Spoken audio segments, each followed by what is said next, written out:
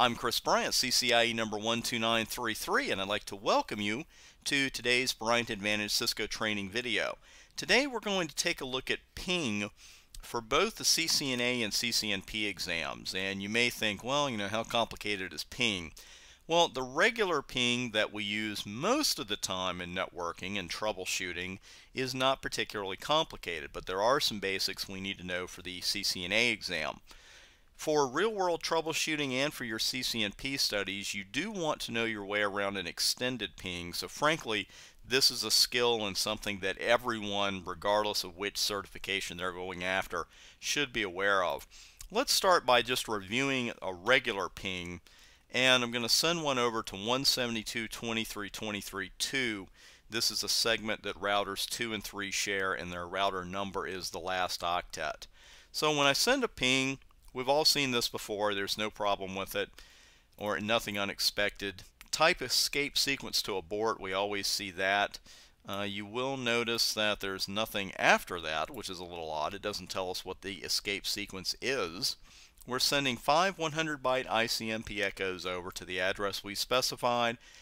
Timeout is two seconds, that's the default, and then we see five exclamation points. We're always happy to see those because that means that our success rate is indeed 100%. Let's go over to router 2 and we'll send a ping back to 172.23.23.3 goes right over. We see the same thing. So this is what we expect to see in a ping, and it's probably the first kind of ping that any of us send on a Cisco router. But there may be times where you want to send more than five pings. There may be times where you want to change the size of the echo packets, and you may actually want to change the source interface. Well, we can do that with what we call an extended ping. And the one thing to keep in mind, or the first thing to keep in mind really, about an extended ping is that you cannot send it from user exec mode, which is where I am right now. You've got to send it from, from privileged exec mode or enable mode. If we try to just use the ping command, which is the command we use for an extended ping, and then hit enter, we're going to message that says incomplete command. So when you see that, when you type ping in, you know you're in the wrong mode. When I enter the ping command from enable mode, you'll notice that I'm going to be prompted with a series of questions. And remember, when you're working on a Cisco device and you're prompted with an answer in the brackets and there's only one, that is the default answer. So you don't have to type IP here to send IP packets. Let's see, uh, protocol, target IP address, obviously it can't be a default for that. 172.23.23.3. Let's say we want to send 25 pings, so we'll put in 25 there. We'll keep the size the same, timeout the same. Now extended commands, this is a little advanced and you may go a long time without ever using these, but in a lab environment we always want to take a look around. So let's say yes to this.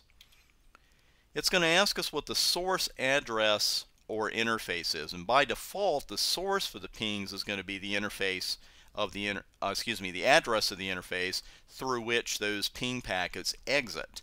Uh, you can change this again it's more something you probably do in IE labs or in, uh, in more advanced troubleshooting but you can change that. If you hit enter it's going to keep the default. Type of service will keep it zero. Do we want to set the don't fragment bit in the IP header? We'll keep the default there. Do we want validation of the reply data? No. Data pattern we'll leave alone. Sweep range of sizes, we're going to keep no to that. And you'll notice they went out very quickly because as soon as I answered no to that particular question, out they went. And we sent 25 echoes, and again, the type escape sequence to abort line is there, but it doesn't tell us anything. Well, in more advanced troubleshooting scenarios, what you may end up doing is sending a ping stream to test connectivity while you're making configuration changes. Also, as you advance in your Cisco routing studies, and this may be something you want to do you know, when you're working on the NA as well. Let's say that you're testing something or you're working with a protocol and you don't want to have to stop every time you change something and then say, okay, now I'll send five pings and see if it works. You can send a stream of pings and be working on it at the same time through another connection. So there will be times, sooner or later, either in a home lab or in a production environment when you're going to want to send a stream of pings instead of sending five at a time. This extended ping is how you do it.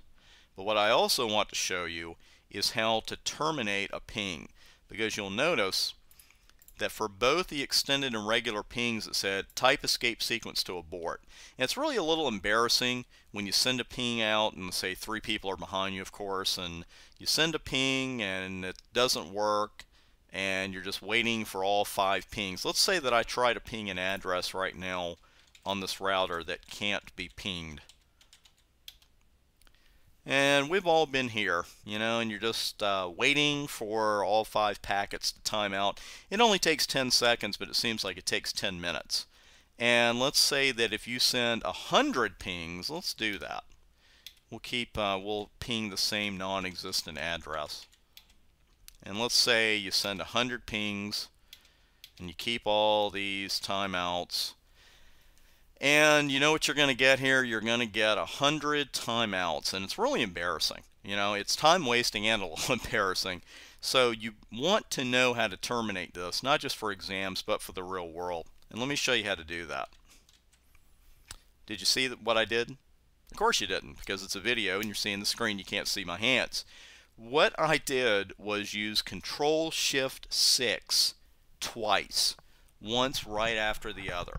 So again, that termination for pings is Control Shift 6, Control Shift 6. You just do it once right after the other, and when you do that, it'll terminate a ping, and it will also terminate a trace route, because a trace route can do the same thing. It'll start timing out in the middle, and it's going to give you like 30 rows of asterisks, and you don't want to look at all of them. So you need to know how to terminate those. And again, that is Control Shift 6, Control Shift 6.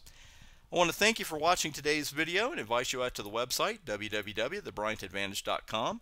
I've got over 250 free Cisco tutorials now. We've got videos, fully illustrated tutorials, and practice exams for you.